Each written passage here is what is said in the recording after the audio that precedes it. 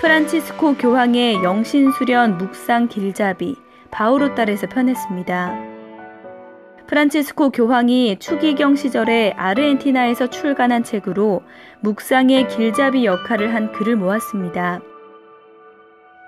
예수회에서 활동하고 있을 때부터 지도했던 사제와 수도자 대상 피정에서 실행한 강의입니다.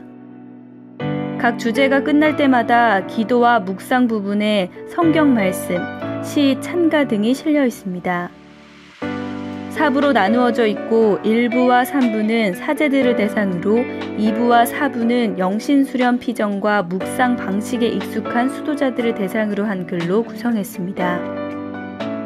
오랜 세월 영적 지도자로 살아온 교황의 삶과 직무가 담담히 응축되었습니다.